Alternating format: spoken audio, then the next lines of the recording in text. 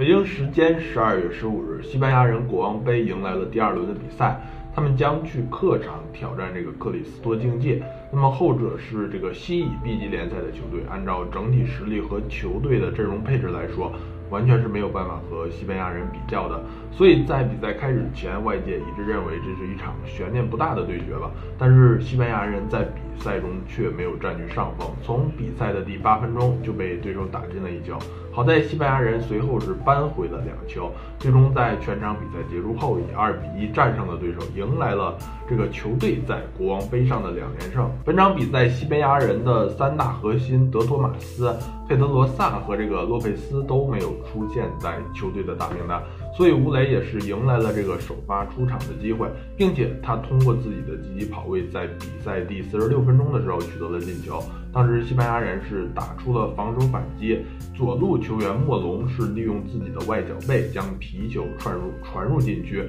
吴磊快速的前插到对方的禁区，随后成功抢点将皮球怒射进了这个对手的球门。那么吴磊通过这么一粒进球吧，也是打打破了这个自己三百四十二天不进球的一个尴尬记录。但非常遗憾的是，吴磊本是有机会可以梅开二度的，但是下半场的单刀球又一次的打到了对方门将的身上。根据不完全统计，本年度的吴磊一共是错失了将近七个单刀的好机会。那么这样的表现对于一位锋线位置的球员来说，确实是非常尴尬的，对吧？针对这一点的情况，赛后西方媒体《阿森报》也是对吴磊做出了一个客观的评价。该媒体表示，吴磊虽然是在比赛中打破了自己的进球荒，但是。